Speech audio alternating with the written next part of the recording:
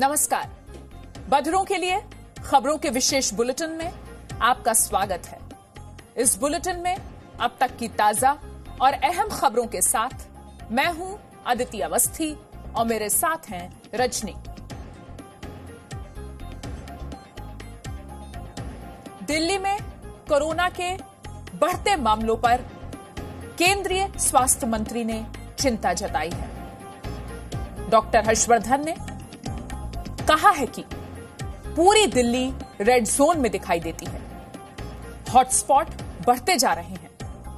दिल्ली में कोरोना का इलाज करने वाले डॉक्टर्स और नर्सेज में संक्रमण के बढ़ते मामलों पर भी स्वास्थ्य मंत्री ने चिंता जताई है। दिल्ली की हमारी परिस्थिति ये लगातार हमारे सबके लिए, खासकर हम लोग दिल्ली में रहते भी हैं, ये बराबर चिंता का विषय बनी हुई है। और जब मैं डेली रिव्यू करता हूँ तो देखता हूँ कि नए नए हॉटस्पॉट्स जो है, वो दिल्ली में डेवलप होते जाते हैं। हर रोज हॉटस्पॉट्स की संख्या बढ़ती जाती है।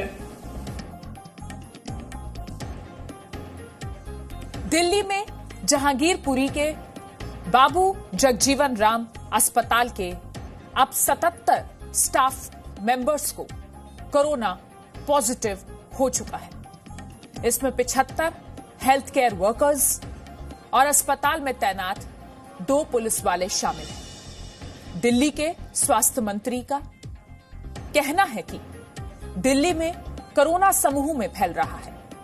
इसका मतलब यह हुआ कि एक ही परिवार के कई लोग कोरोना पॉजिटिव निकल रहे हैं।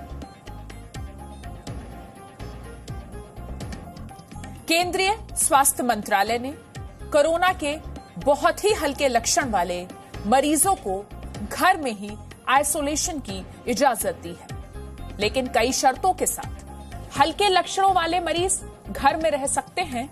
अगर उनके घर में आइसोलेशन की सुविधा हो और परिवार वालों के रहने के लिए घर में अलग व्यवस्था हो। 24 घंटे घर पर एक आदमी मरीज़ की निगरानी करे, जो अस्पताल के लगातार संपर्क में रहे। मुंबई पुलिस कमिश्नर ने पुलिस महकमे के वरिष्ठ कर्मचारियों को घर पर रहने का आदेश दिया है। जिन पुलिस कर्मियों की उम्र 55 साल से ज़्यादा है, वो ग्राउंड ड्यूटी पर तैनात नहीं किए जाएँगे। मुंबई पुलिस के तीन कर्मचारियों की मौत के बाद पुलिस कमिश्नर ने यह फैसला लिया है। मुंबई में अब तक पाँच हज़ार सात सौ छिहत्तर लोग कोरोना से संक्रमित हो चुके हैं, जिनमें से 219 लोगों की मौत हो चुकी है। कोरोना का संक्रमण रोकने के लिए पुणे में बीस हज़ार लोगों को दूसरी जगह शिफ्ट करने की तैयारी है। पुणे के पाँच हॉटस्पॉट इलाके, भवनीपेट कस्बा पेट ढोले पाटिल रोड,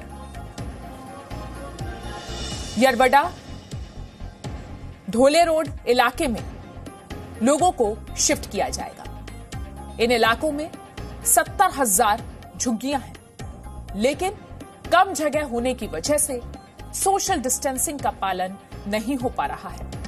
ऐसे में इनमें से बीस हज़ार लोगों को दूसरे स्थान पर कुछ वक्त के लिए शिफ्ट करने की तैयारी है।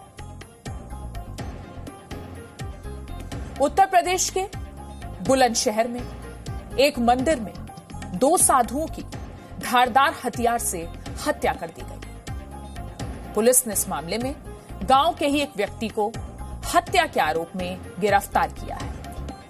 पुलिस के मुताबिक हत्या का आरोपी नशे का आदि है। दो दिन पहले उसने साधुओं को परेशान किया था, उनका चिमटा चुरा लिया था। इसके बाद साधुओं और आरोपी के बीच कहा सुनी हुई थी। पुलिस ने आरोपियों को, आरोपी को गिरफ़्तार कर लिया है। इस मामले में मुख्यमंत्री योगी आदित्यनाथ ने अधिकारियों को कड़ी कार्रवाई करने का निर्देश दिया है। बजरों के लिए स्पेशल बुलेटिन में, आज के लिए बस इतना ही। ब्रेक के बाद होंगी कुछ और खबरें। बने रही हमारे साथ।